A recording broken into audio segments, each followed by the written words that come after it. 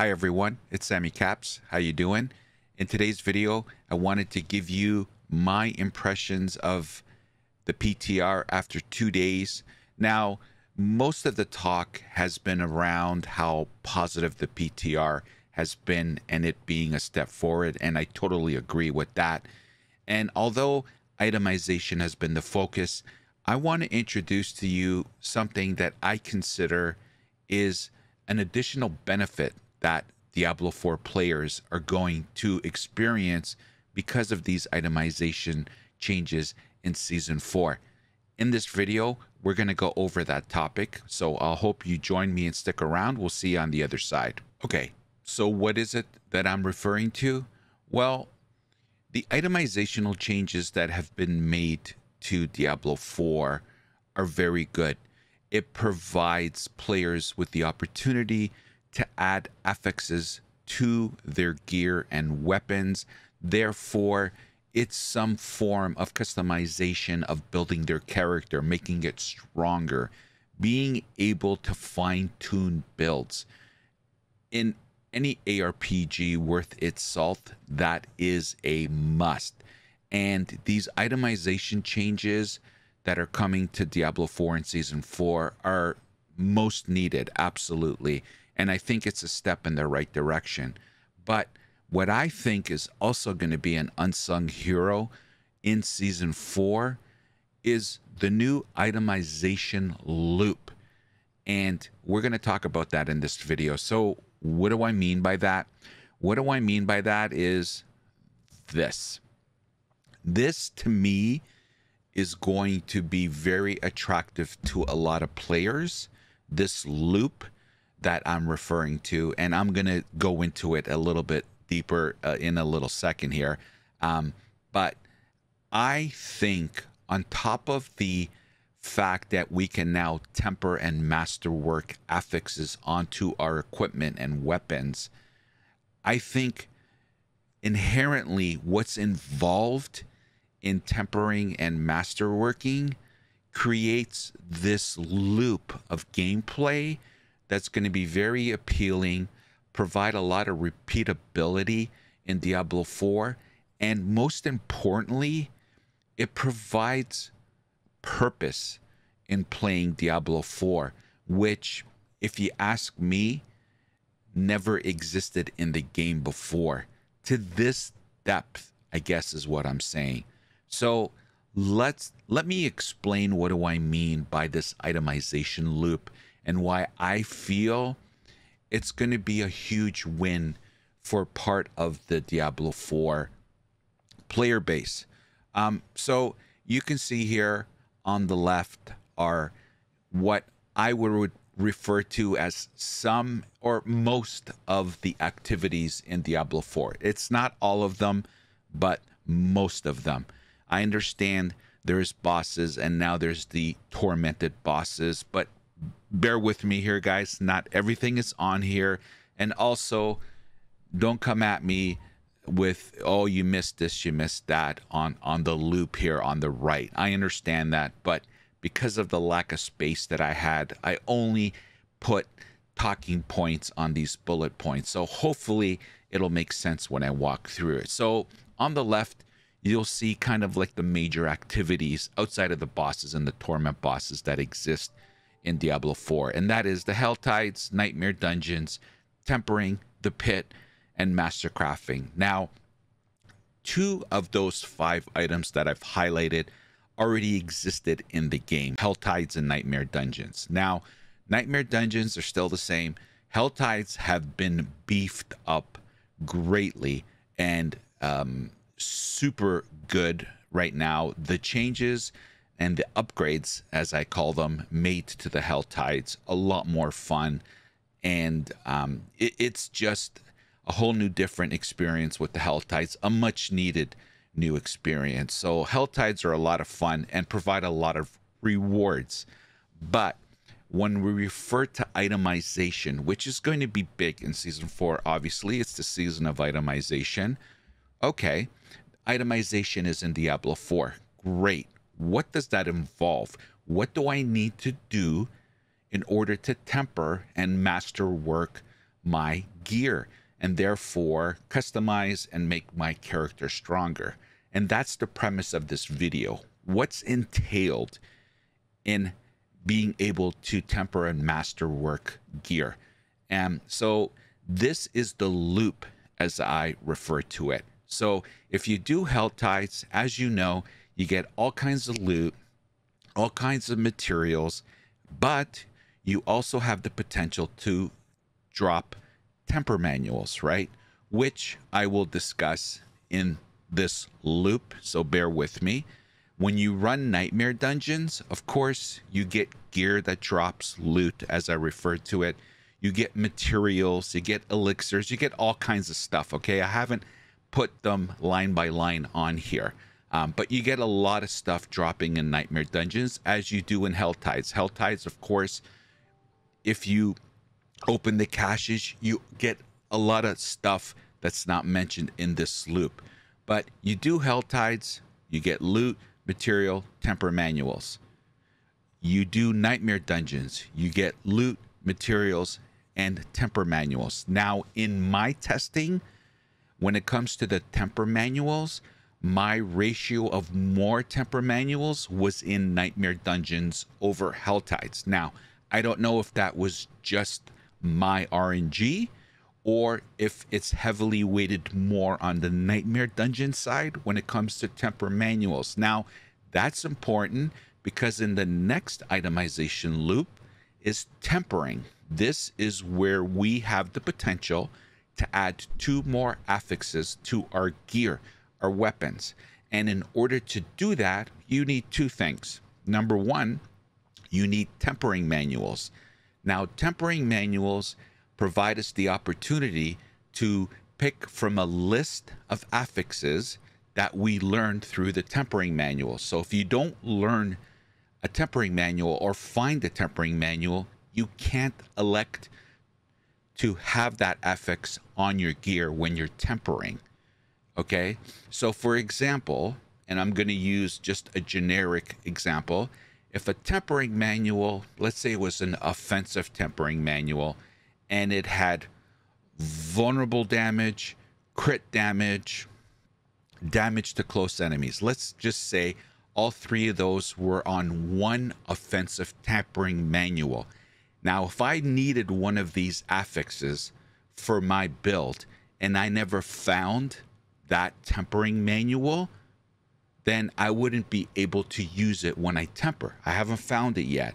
So, in order for you to be fully tempering your gear and have all the different options, you need to find the appropriate manual. And there are offensive manuals, there's defensive manuals, there's utility manuals, there's resource manuals. But my point is in this itemization loop, you need to run Helltides and you need to run Nightmare Dungeons in order to find these manuals. This is how this loop is being created. Okay. Now, when it comes to tempering, like I said, you need the tempering manuals. You also need the crafting materials, right? There's a cost in order to temper an affix onto an item. That cost is from crafting materials, which you get from salvaging loot, gear, weapons. So those salvaging materials are obtained by playing the game, which goes back to Helltides, Nightmare Dungeons, etc., etc.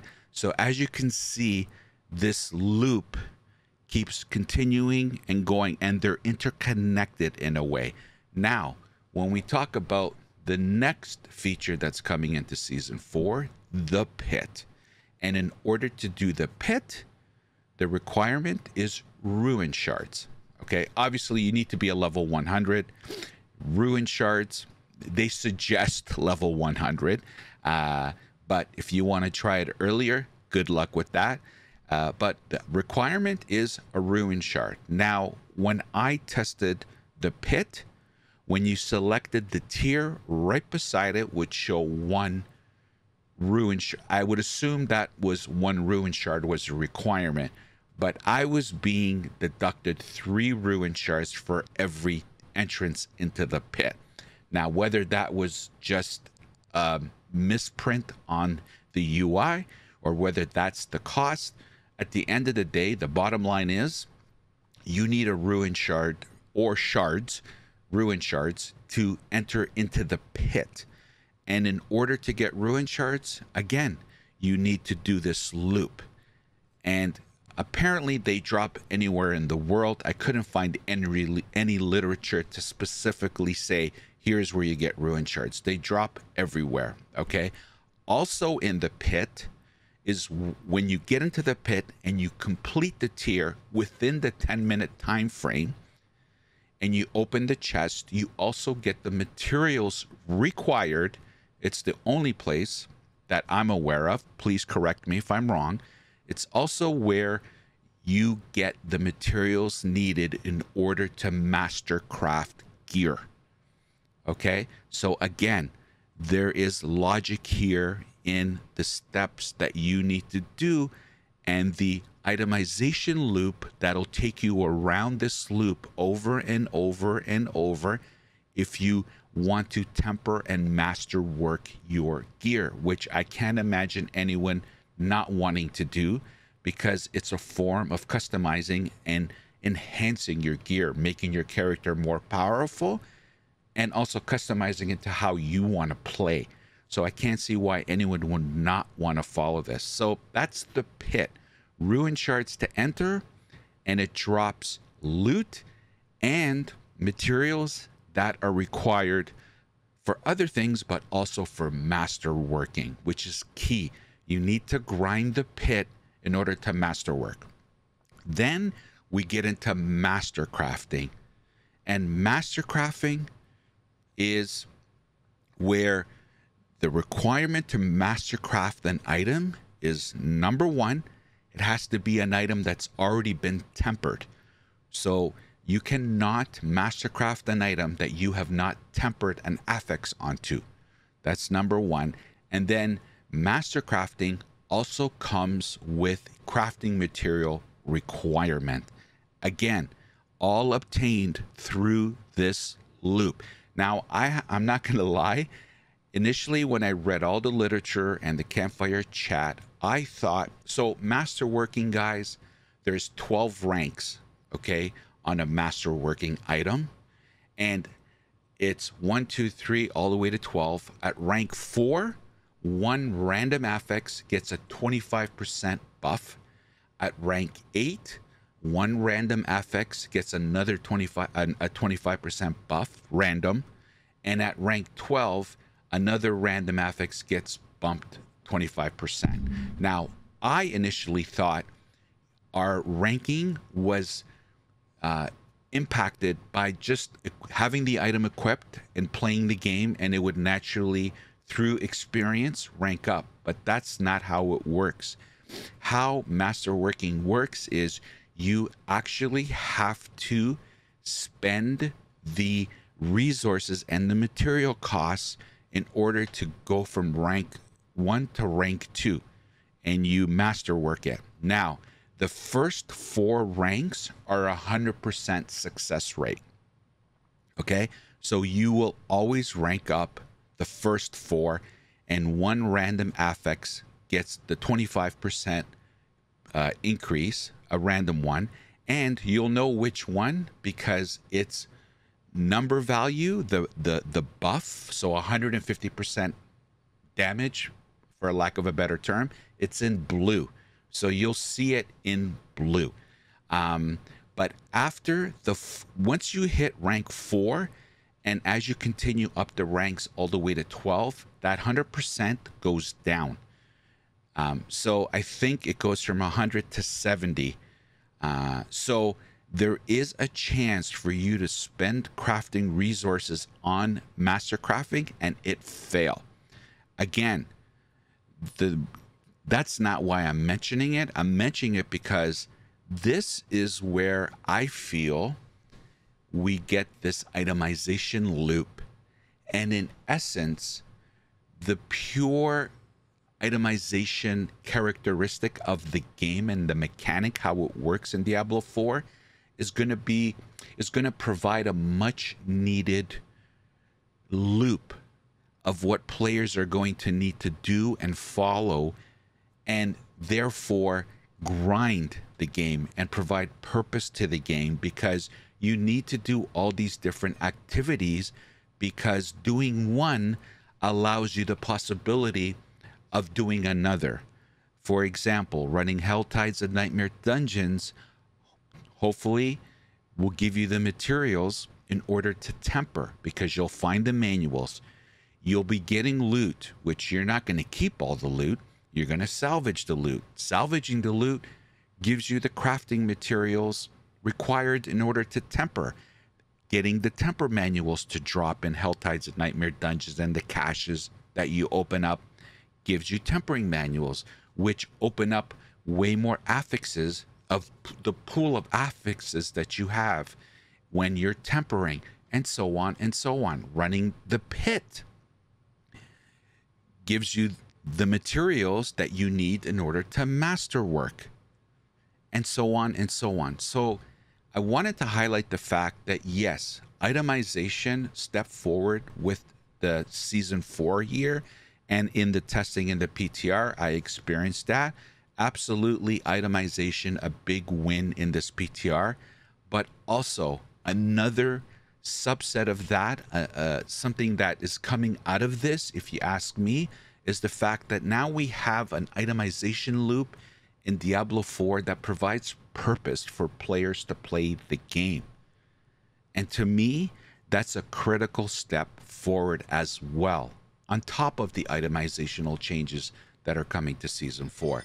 So I just wanted to highlight this that this is to me a big thing that's going to be happening in Diablo 4. Now, I'm not saying that's it, game over, it's good, they don't need to do anything else. I'm not saying that. I'm just saying this is another good step forward because when you have purpose in your grinding and purpose in your game, it makes players want to play the game, in my opinion. Um, so this is a subsequent outcome of the itemization changes is the new itemization loop as i like to call it. So let me know what you think. Am i off my rockers? What do you think? No this loop doesn't exist.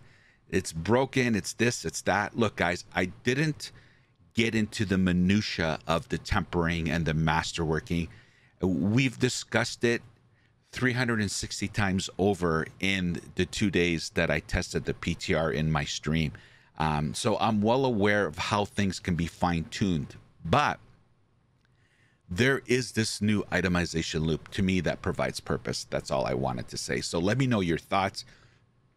If you participated in the PTR, how's it going? How are you finding it? Do you like it? Do you not like it? Get in the comment section. I would love to hear it. And I just wanted to put some positivity on top of already the positive changes with the itemization. Uh, I think this loop is going to bring repeatability to a lot of players that are playing Diablo 4. Anyway, let me know your thoughts. And if you could like, comment, and subscribe, I would really appreciate it. And as always, we'll hope to see you next time. Take care. The opinions expressed in this video are mine and solely mine. Healthy debate is always encouraged. Hate is never welcomed. So get over it.